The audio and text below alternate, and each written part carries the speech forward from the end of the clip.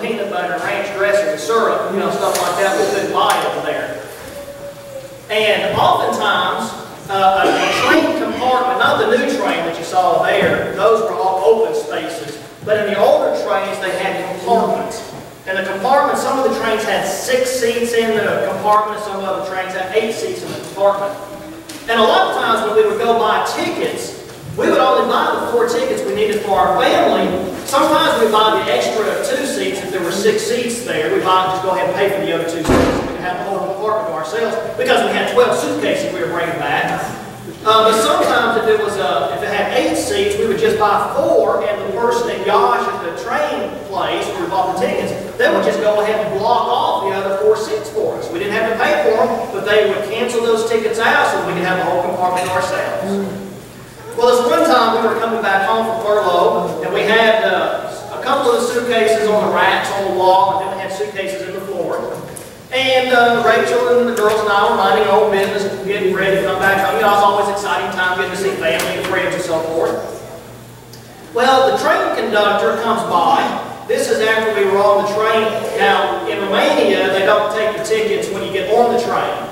Uh, they wait until you're on the path. So if you're if you're uh, on the wrong train, you're in tough luck. So uh, the train conductor came by after we were on the train for about an hour, hour and a half or so, uh, to punch our tickets, as I explained to the kids, and he saw our suitcases sitting there on the floor. And he said, you can't have suitcases in the floor. They have to be on racks. And uh, we said, well, okay, we can get them up off the floor. And he said, he, he uh, explained to us, as far as he was concerned, that we were violating the rules by having so many suitcases. Uh, nobody else could be in the compartment.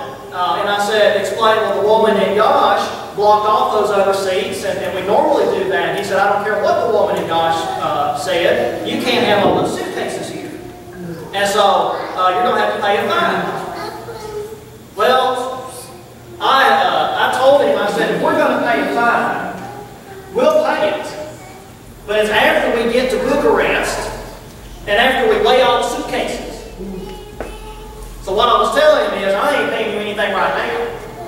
you're going to get money out of me, you're going to get money out of me after we get there. And we weigh everything.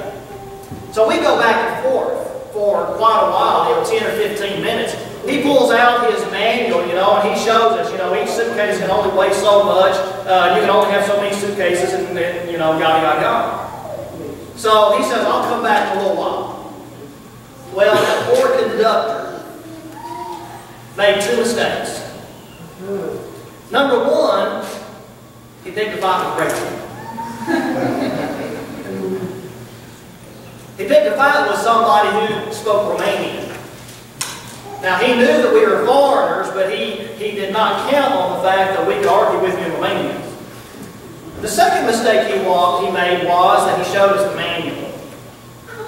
Now, I already knew the rules for the suitcases because uh, the airlines, you know, there's a weight limit on luggage on the airlines, and I weighed every one of those suitcases probably about 10 times, trying to say, okay, we can squeeze a little bit more on this suitcase. We got to take something out of this suitcase. Well, I knew how much those suitcases weighed. And so Rachel started doing the math in her head, and she said, well, you know what? We, we are under the weight limit for these suitcases. Now, part of his complaint was also that the suitcases were on the floor. So we put the suitcases up on the racks that would fit up there. And then the other suitcases we set up on the seats that were already empty. So we had four seats for us, and then we put the other suitcases up on the other seats.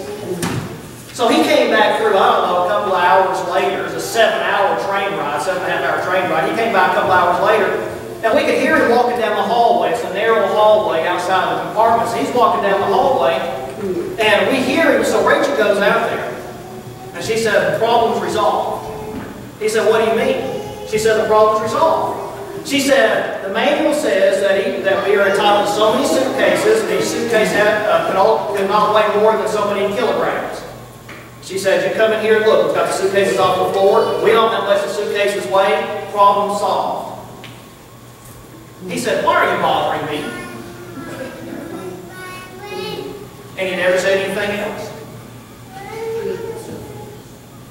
when Satan attacks us, our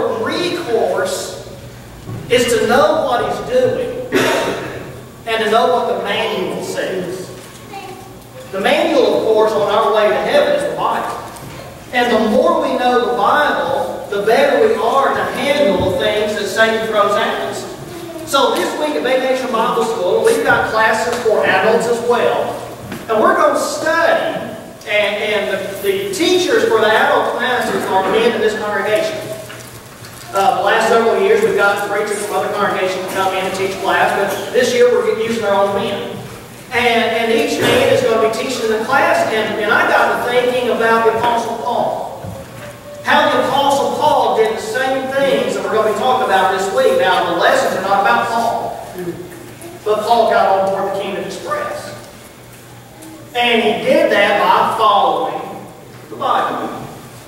So I want you to look and think about the Apostle Paul as we, as we see what he did to get on board the Kingdom Express. Now, see it read earlier from Acts chapter 22 where the Apostle Paul said that he had persecuted the way. Now that word way was a word that the first century Christians used to describe Christianity. Probably coming from the fact that Jesus said that he was the way, the truth, and the life. And so we would say, for this week at least, that the way is the Kingdom Express. It's that train going to heaven. Now, Paul, in order to get on board that train, here are four things that Paul did. First of all, Paul chose to be different.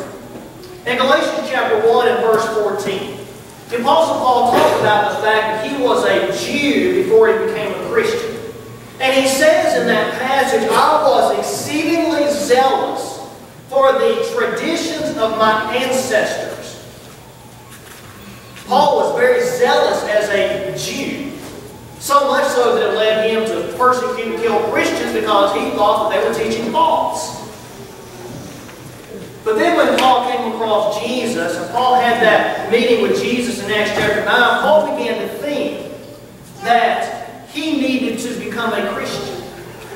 And Paul chose to leave his past. He chose to leave the religion of his father. He chose to leave the religion of his people.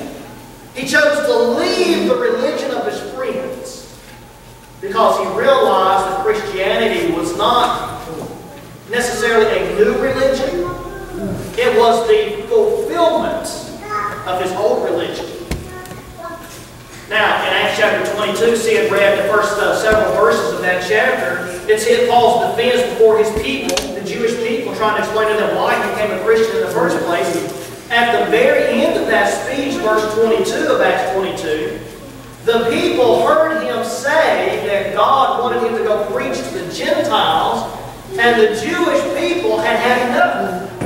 And when Paul said that, they stopped up their ears and they said, Away with this man from the earth. It is not fit for him to live.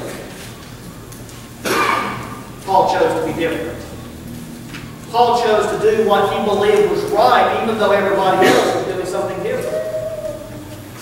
So when we get on board the Kingdom Express, we're going to have to make the choice, even as adults, that we are willing to be different from the world.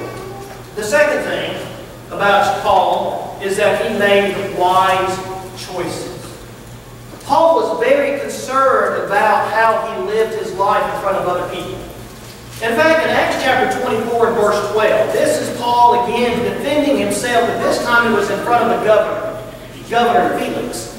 And in Acts 24 and verse 12, Paul said, I preached in the temple every day, but I never created a riot. I never broke the law. See, Paul made wise choices.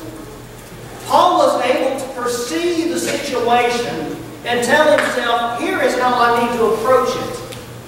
I don't need to say things that will unnecessarily make people mad.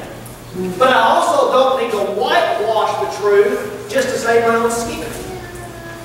Paul made wise choices that helped him live a strong Christian life.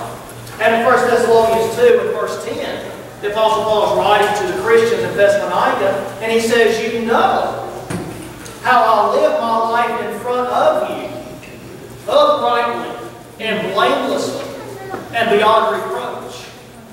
So Paul lived a, an exemplary life in front of other people, knowing that it would help them accept the gospel that he was preaching. And so Paul chose to be different. Paul made wise choices in his life. The third thing that we see in Paul as he gets on board the Kingdom Express is that Paul had good friends. Now, when we study this Listen Vacation Bible School, the point is going to be choose friends who help you grow closer to Jesus. Choose friends who love Jesus the way you love Jesus and who want to see you get closer to Him. And that is just as true for Christians as for adults as it is for children. The Apostle Paul's friendship with Christians began in Acts chapter 9. It was Ananias, a Christian, who came to Saul, and he said, Saul, you need to obey the gospel. That is the most important thing that a friend will do, either for us or that we will do for other people, is to say, you need to obey the gospel. You need to obey Jesus Christ if you want to spend eternity with Him in heaven. And then in Acts chapter 9, uh, we have uh, the record of Barnabas. Barnabas was another good friend of Saul, of Paul. Paul had spent some time in Arabia after he became a Christian, and he comes back home to Jerusalem. And the Christians in Jerusalem are still afraid of Paul because they knew what kind of uh, person Paul was before, that he killed Christians. And they're really leery of accepting him as a member of their congregation because he killed Christians. But Barnabas comes along. And Barnabas puts his arm around Saul, and Barnabas says, I believe what Paul said. That he was converted, that he's not the same person anymore. And I believe we need to give Paul a chance. And so very early in Paul's walk as a Christian, he started off with two very important friends as Christians. One who taught him the gospel, and one who uh, uh, helped him become a part of the local congregation there in Jerusalem. And after that, Paul's numbers of friends just multiplied exponentially. Paul had friends all over the place. He had friends who encouraged him. He had friends who picked him up when he was down. He had friends who prayed for him. He had friends who stayed with him when he was in jail. He had friends who were there with him at the very end of his life. Paul chose good friends. Even as an adult, he spent time with people who would help him serve Jesus Christ. And then fourth and finally, Paul always put Jesus first. Paul always put Jesus first. It began with him saying, okay, I've got to leave my old religion and I need to accept this new religion, Christianity. Paul put Jesus first. And if we read in 2 Corinthians chapter 11, that, that series of verses there where Paul says, this is what I will encourage you as a Christian.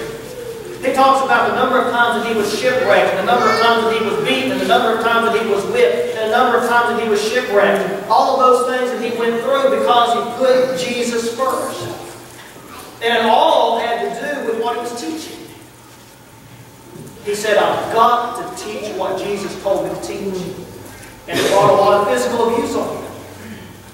Paul put Jesus first when it came to living a life of comfort and ease. He could have said, well, I'll let people go ahead and stay Jews and just accept some of the things about Christianity. Maybe we can compromise, you know. No, that wasn't Paul. Paul taught the gospel as Christ revealed it to him, and he put Jesus first. He put Jesus first above his old religion. He put Jesus first above his family. He put Jesus first above his old friends. And again, he put Jesus first above the things that he was experiencing himself. Comfort and ease. It would have been a whole lot easier for Paul if he had just stayed a Jew. He would have been uh, one of the most popular Jewish teachers of all time if he had stayed a Jew. But he gave that up because that wasn't right. And then again in 1 Thessalonians chapter 2 and verse 9,